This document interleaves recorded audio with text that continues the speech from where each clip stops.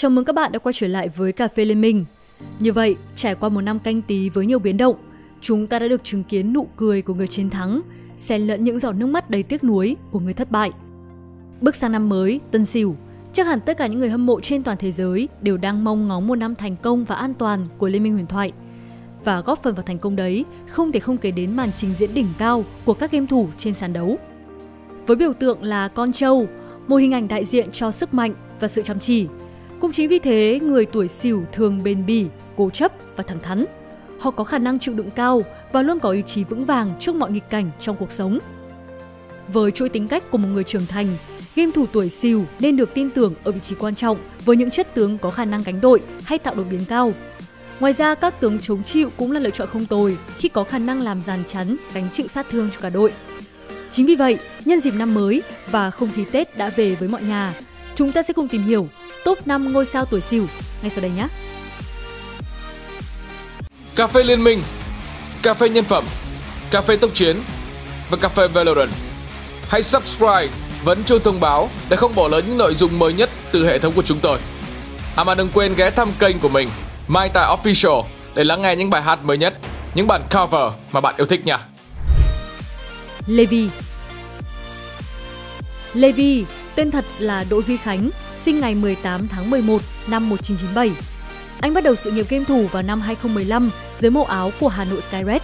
Đội tuyển vốn không nhận được nhiều chú ý ở thời điểm đấy, nhưng kể từ sau màn thể hiện xuất sắc với con bài Lee Sin tại All Star Thế giới 2016, sự nghiệp Levi bắt đầu bước sang một trang mới. Mùa xuân 2017, Levi chính thức ký hợp đồng và thi đấu cho Gigabyte Marines, đội tuyển quy tụ nhiều ngôi sao xuất sắc nhất Việt Nam lúc bấy giờ. Sở hữu kỹ năng thượng thừa, tư duy trời phú về liên minh, tuyển thủ sinh năm 97 nhanh chóng bắt nhịp vào lối chơi chung của toàn đội. Anh trở thành nhân tố quan trọng giúp đội tuyển áo vàng đen dễ dàng lên ngôi vô địch MDCS, GPL ở cả hai mùa xuân và hè, đồng thời góp mặt tại MSI 2017 và đưa Việt Nam trở lại sân chơi chung kết thế giới kể từ năm 2012. Tại kỳ chung kết thế giới 2017, GAM rơi vào bảng đấu tử thần, nơi có sự xuất hiện của các ông lớn như Longzhu Gaming, Fnatic và Immortals. Tuy phải dừng bước sau thất bại đáng tiếc trước Fnatic ở vòng bảng, nhưng GAM đã đem đến cái nhìn khác cho cộng đồng quốc tế. Họ thi đấu cống hiến, gây được tiếng vang lớn khiến nhiều người trầm trồ thán phục. Đặc biệt, cá nhân Levi với những pha highlight để đời mà xem đi xem lại cũng không thấy chán. Sau thành công vang dội cùng GAM, Levi chuyển sang thi đấu cho 100 Tips và JD Gaming. Nhưng bất đồng về ngôn ngữ cũng như lối chơi khiến người đi rừng số 1 VCS không thể thành công và anh quyết định quay trở lại mái nhà xưa GAM vào mùa hè 2019. Tái hợp đội tuyển cũ, Levi cùng Zeros tạo ra cánh trên hủy diệt giúp GAM đăng quang VCS và lần thứ hai đưa anh đến với chung kết thế giới. Với đội hình toàn các tuyển thủ hàng đầu Việt Nam, GAM được kỳ vọng sẽ làm tốt hơn thành tích của chính họ vào năm 2017. Nhưng mọi chuyện lại diễn ra hoàn toàn khác. Levi cùng đồng đội chỉ thể hiện lối chơi một màu, thiếu liên kết và sáng tạo khi chỉ tập trung vào nửa trên bản đồ.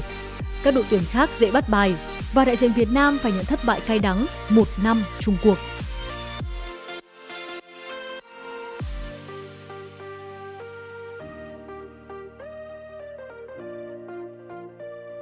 Bước vào năm 2020, GAM không còn duy trì thế thống trị tại VCS nữa khi thất bại trước Team Flash trong trận chung kết liên tiếp. Hiện tại, ở giai đoạn vòng bảng VCS mùa xuân 2021, GAM đang tạm thời dẫn đầu với phong độ hủy diệt. Trong đó, màn trình diễn của Levi đã góp công không nhỏ vào thành tích bất bại của đội tuyển áo vàng đen. Như thường lệ, nhờ hiểu biết sâu rộng về trò chơi cũng như cách vận hành chiến thuật, Levi nhanh chóng cho thấy tầm ảnh hưởng của mình đến kết quả trận đấu. Không chạy theo những tướng meta, Levi chọn riêng cho mình cách chơi vừa có thể kiến tạo, vừa đóng vai trò gánh đội khi cần thiết. Cuối cùng trong mùa giải 2021, chúng ta hãy chúc cho anh sẽ tiếp tục giữ được phong độ, có một năm gặt hái được thật nhiều thành công cùng GAM và giúp Liên minh Việt Nam đạt được cột mốc mới tại đấu trường quốc tế. Rookie Rookie là một trong những người chơi đường giữa xuất sắc nhất của Invictus Gaming nói riêng cũng như của thế giới nói chung. Anh tên thật là Song Eugene, sinh ngày 11 tháng 3 năm 1997. Rookie bắt đầu sự nghiệp trong màu áo KT Roster Arrow với cái tên Most 3. Anh có một mùa giải 2014 tương đối thành công khi cùng đồng đội đánh bại Samsung Blue 3-2 ở trận chung kết, giành chức vô địch OGM mùa hè. Điều này đã giúp KT Arrow đủ điều kiện đến với vòng loại chung kết thế giới khu vực Hàn Quốc. Tiếc rằng họ đã thua ba trắng trước Najin Waishu ở vòng 2. Ngay sau thất bại đó vài tháng, Rookie gia nhập Invictus Gaming cùng với người đồng đội Kakao. Tại đây, anh đã chứng minh tài năng cho nhiều fan hâm mộ Trung Quốc và thành tích tham dự chung kết thế giới chính là phần thưởng xứng đáng nhất dành cho nỗ lực của Rookie. Tiếc rằng trong lần đầu tiên tham gia giải đấu lớn nhất thế giới bộ môn liên minh, anh và IG đã nhận một kết quả muối mặt với vị trí chót bảng. Những năm tiếp theo, chứng kiến sự cố gắng của Rookie trong việc đưa IG trở lại đấu trường quốc tế. Tuy nhiên, phải mãi đến 2018, Invictus Gaming mới làm được điều này. Tại giải đấu năm đấy, mặc dù họ không hề được người hâm mộ đặt quá nhiều kỳ vọng như Royal Never Give Up, tuy nhiên đội tuyển này lại bất ngờ có những màn trình diễn rất ổn định. Chiến thắng áp đảo trong trận chung kết với tỷ số 3-0 trước một đối thủ rất mạnh đến từ châu Âu là Fnatic. Invictus Gaming đã chứng minh cho toàn thế giới thấy quyết tâm và những gì họ đã đạt được là thật. Hiện tại, Rookie vẫn là trụ cột không thể thay thế trong đội hình Invictus Gaming. Chính vì vậy, anh không đơn thuần chỉ là một người đi đường giữa xuất sắc, mà còn là người giúp đội tuyển IG có được vị thế như hôm nay. Cuối cùng, mong là Rookie sẽ tiếp tục giữ vững phong độ và đưa Invictus đến với những danh hiệu lớn trong tương lai.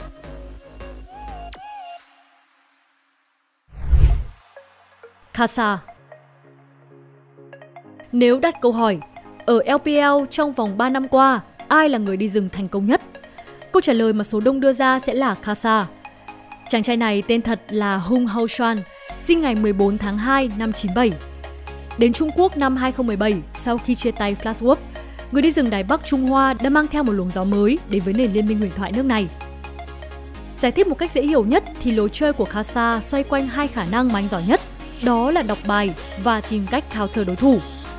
Trong gần như tất cả các trận, ngôi sao sinh năm 97 luôn biết người đi rừng đối phương đang ở đâu. Một khi đã nắm được vị trí đối phương, Kasa sẽ bắt tay vào counter họ. Anh có thể yêu cầu sự trợ giúp của đồng đội đi đường để mở ra một tình huống giao tranh trực tiếp. Có thể solo kill luôn đối phương nếu hơn trang bị, cấp độ. Trong tình huống xấu nhất, khi đang thua, anh sẽ nhẹ nhàng di chuyển sang khu vực khác, báo cho đồng đội nằm trong tầm ngắm chơi cẩn thận hơn.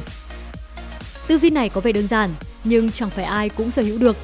Thế nên không phải ngẫu nhiên cộng đồng Liên minh Trung Quốc gọi kasa là Mr. Radar. Như thể anh gắn radar lên người đi rừng bên kia chiến tuyến để luôn biết họ đang ở đâu. Có một sự thật về lối chơi của kasa đó là yếu tố an toàn luôn phải được đặt lên hàng đầu. Thế nên trong cả sự nghiệp, người ta hiếm khi thấy anh chàng này di chuyển sang cướp rừng đối phương.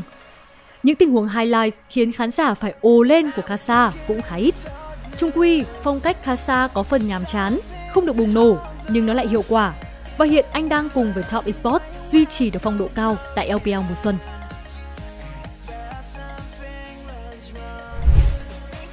Zven Kể từ khi đến Bắc Mỹ, giải đấu LCS mùa xuân 2020 mới là lần đầu tiên cựu xạ thủ của G2 và Oregon có được chức vô địch.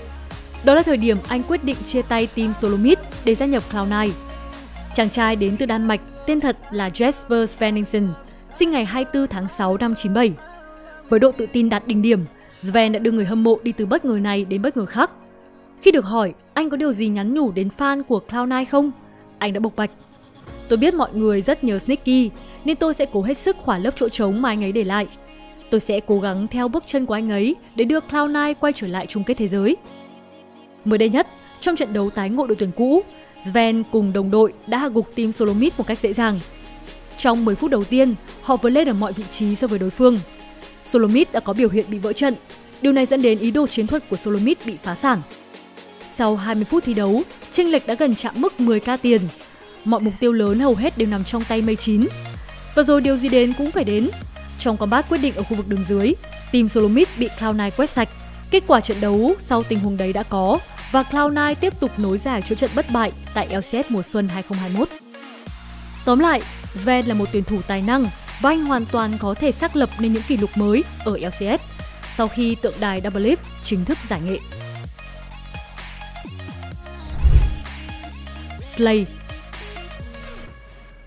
Slay tên thật là Nguyễn Ngọc Hùng, sinh ngày 28 tháng 7 năm 97.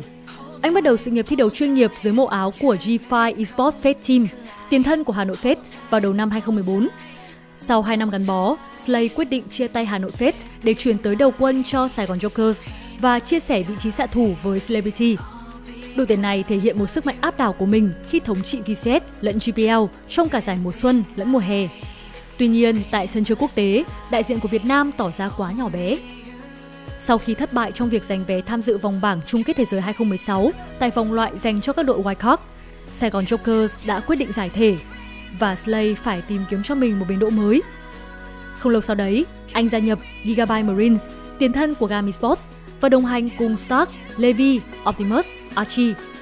Ngày mùa xuân năm đấy, Gam đã gặt hái được thành công với chức vô địch GPL và gây tiếng vang tại MSI 2017. Tuy nhiên, niềm vui ngắn chẳng tới gang. Slay và mối nghiệt duyên với No Way đã khiến anh lưu lạc qua EVOS trước khi trở về GAM và giờ chuyển đến SPTC Sport.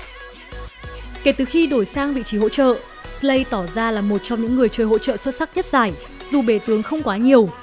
Nhưng với lối chơi chủ động và tính toán tình huống cực kỳ chính xác, Slay đã tạo tiền đề cho rất nhiều tình huống bước ngoặt của đội nhà. Đặc biệt, vị tướng bot trong tay Slay đã có vô số những tình huống highlight ấn tượng ở mùa giải trước. Chính vì vậy, hy vọng ở mùa giải mới, Slay có thể thi đấu thăng hoa, giúp Tam Kê lần đầu tiên xưng vương tại sân chơi cao nhất của Liên minh Việt Nam. Vừa rồi là top 5 ngôi sao Liên minh huyền thoại tuổi Sửu. Thông qua những thông tin thú vị mà kênh vừa chia sẻ, hy vọng giúp anh em có được cái nhìn về những tuyển thủ xuất sắc nhất. Đồng thời mình biết vẫn còn rất nhiều cái tên khác xứng đáng nằm trong danh sách này. Nên sau khi xem xong video, anh em hãy để lại ý kiến cho Cà phê Liên minh được biết. Và đừng quên like, share và subscribe bởi vì nó free nhá. Xin chào và hẹn gặp lại anh em ở những video tiếp theo.